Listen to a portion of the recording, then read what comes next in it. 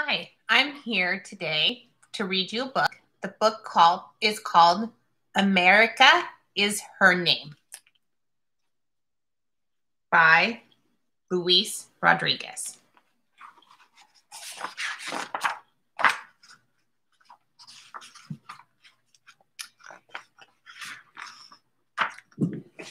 Mummies.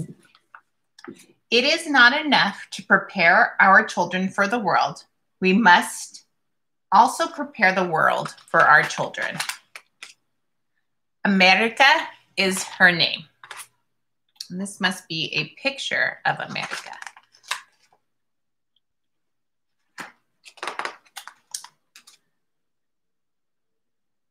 A Mixteca Indian girl walks through the Pilsen barrio in Chicago. She has honey brown skin and elongated eyes that are large and dark. Her thick hair is in braids. She was born in the mountains of Oaxaca. She still remembers the goats, pigs, and thatch roofed house they once called home. Now she is in a strange place she can't even pronounce. She dreams of Oaxaca in Spanish. America is her name. America Solis. She is nine years old and has two brothers and a sister. Her mother's name is Nayeli, a Mixteco name which means flower of the fields. America's father, Oscar, works the factories of Southwest Chicago. He sleeps all day and works all night. She rarely sees him.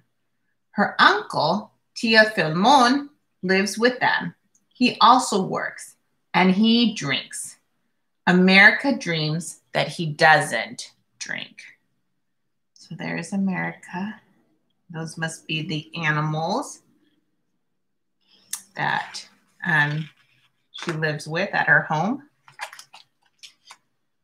On her way to school, America smiles at the man from the Guerrero, from the Guerrero, who sells helados, real fruit ice cream sticks. She waves at the barber from Michoacan standing outside his shop waiting for customers. She sees teenagers standing around with nothing to do. She smiles at them. They smile back and continue talking. So these must be the teenagers. Here's the man selling helados, and here she is walking. She has a bird on her shoulder. Rounding the next corner, she sees a boy walking down the street. Some guys call out to him. He spins around, pulls a gun out of his waistband, and shoots at the group. The others run, but America just stands there. Nobody is hit. She stares at the young man, who then turns toward her. His face is a scowl, his eyes cold and dark, he puts the gun back into his waistband and walks away. So here is the man with the gun shooting at these boys. And America drops everything because she sees it happening, right? When America reaches her English as a second language class, she slips quietly into the room as Miss Gable is yelling at the students. Sit down. Be quiet. America sits at the back of the room and says nothing. America used to talk all the time. In her village, she greeted the animals in Spanish, mixed with a few Mixteco words. She sang in the morning. She recited the many poems taught her since she was a baby. She had a voice, strong, open, and free.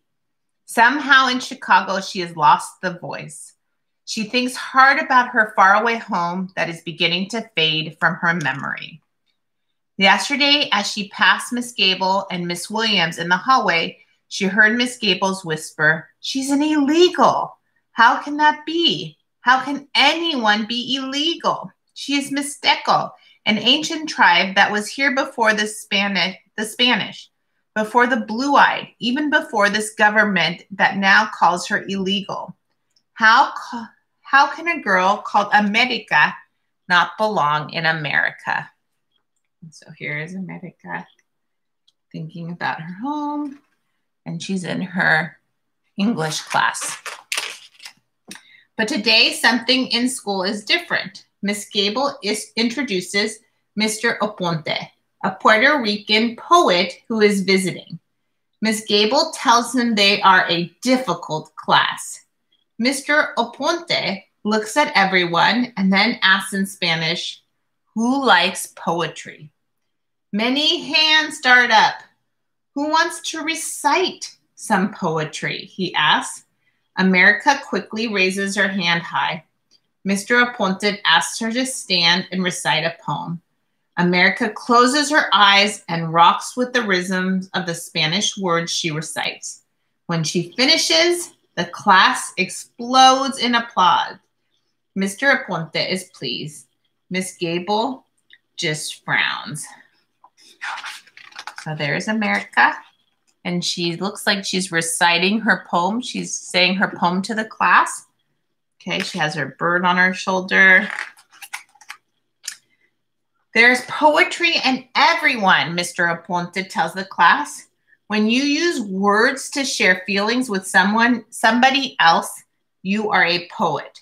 And po poets belong to this, the whole world. Never forget this. He tells them about the great Spanish language poets such as Julia de Bar Burgos, Pablo Neruda, Federico Garcia Lorca, and Sor Juana Inez de la Cruz.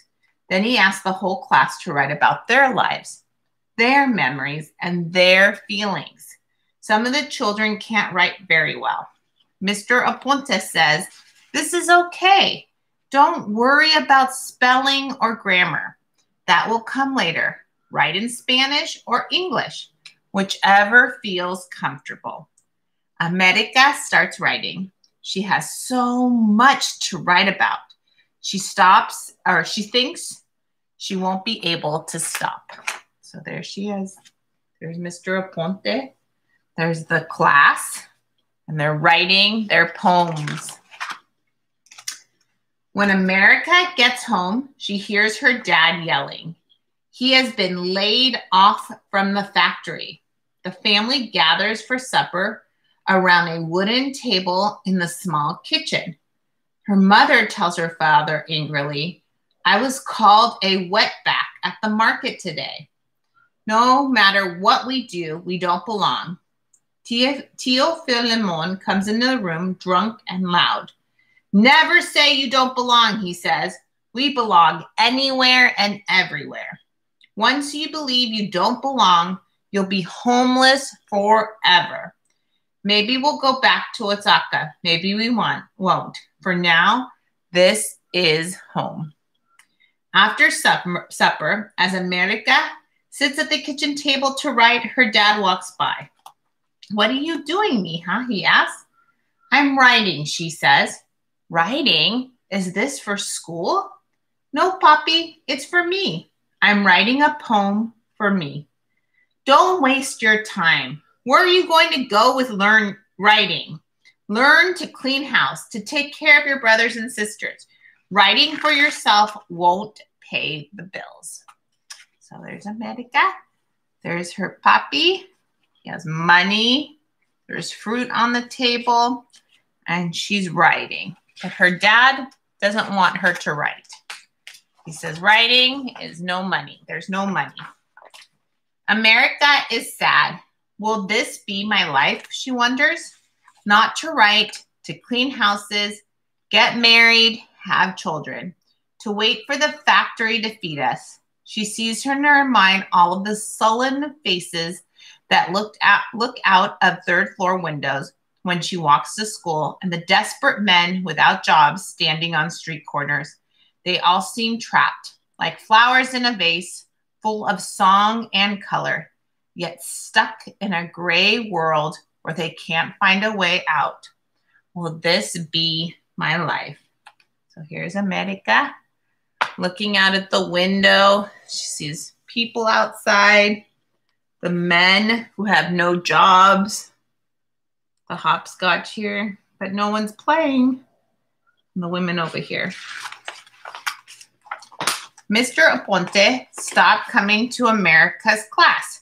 He was only there as a part as part of a special program. Miss Gable is yelling at everyone for talking out of turn, for not doing their work right. America wishes Mr. Aponte was back. She writes her stories and poems secretly now because there's no one to read them to. At home, everyone is worried. There are days when the family doesn't have enough money for food. Tio Filemon works, but mainly to help with the rent and buy beer. Her father paces the rooms and hallways, always angry. America is quiet and sad. Nayeli sits down at the table with America and says, Mija, Write something for me. America gives her a pencil and a piece of paper and says, Mama, you write something too. Every day after school, Nayeli and America sit at around the table and write.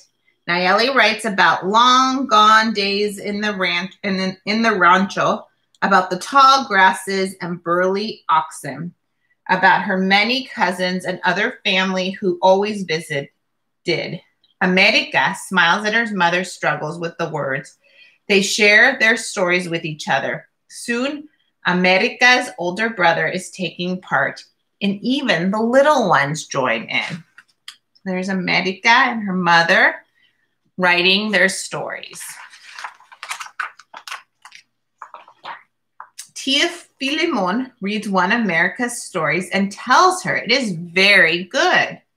Her dad comes in and says, You're still writing?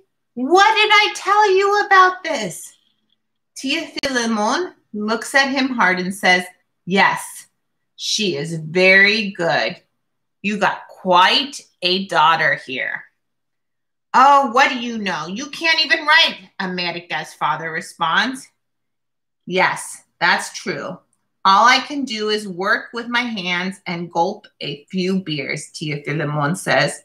But your daughter is going to do more than you or me. I can see it. She will bloom long after we've rotted on the vine. Okay.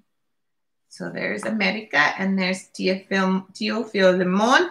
He's reading her poem and he really likes it. And I don't know if you can tell, but he's crying. He has little tears coming down his eyes. And this must be her little brother, one of the little babies. A few days later, America burst in the kitchen. Mama, mam, mama, tengo un, un sin. Un tengo un sin.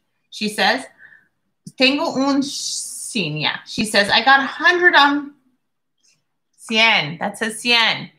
Tengo un cien, she says. I got a hundred on my writing assignment.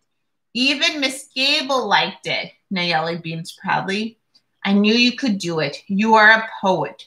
Her dad looks up from the television and says, Well, what do you know? Maybe I've got a poet for a daughter. He stands up. America thinks he's going to yell at her. Instead, he hugs her really tight.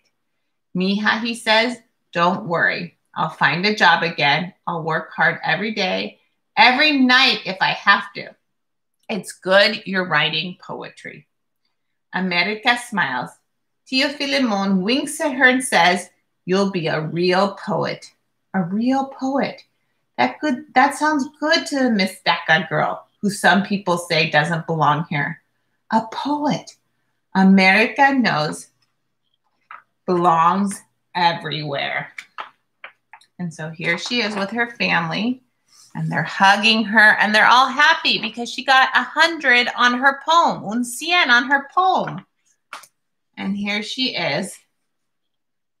And she knows that she's going to have a future because she says a poet belongs everywhere and she will have a place in this world as a poet. So this is the end of our book and here's the bird.